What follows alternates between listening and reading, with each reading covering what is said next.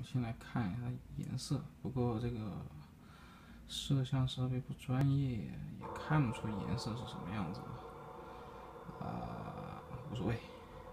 我们等它进去之后，找一个像样一点的图片来看看。S A。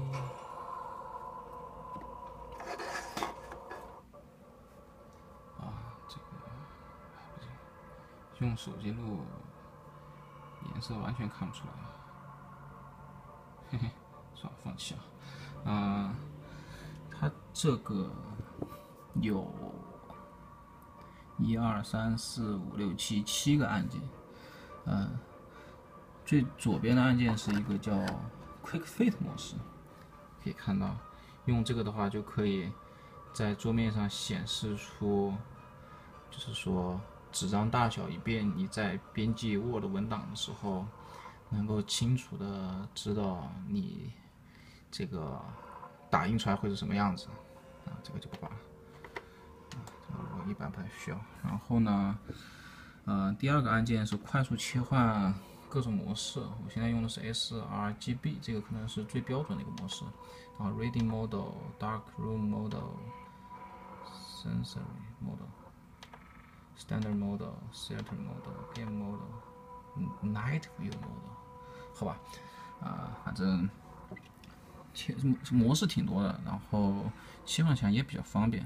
第三个键是向下，或者说是呃是向下的功能键，但也可以用来这个快速的调整音量。哎，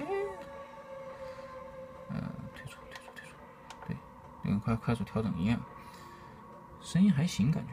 然后 menu 也是退出键，menu 进去之后可以调的东西也挺多的。第一个是这个各种的模式。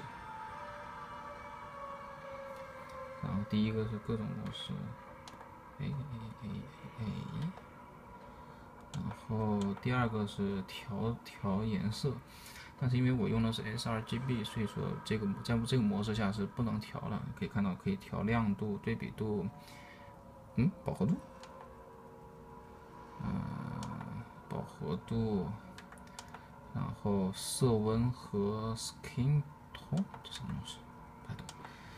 然后第三个是调这种锐度吧，然后是哦追脸模式，哇，给追脸，好屌，嗯，然后好像是说追脸模式是如果说应该有感应器，如果说你离开它会自动把显示屏关了，好像很高级的样子。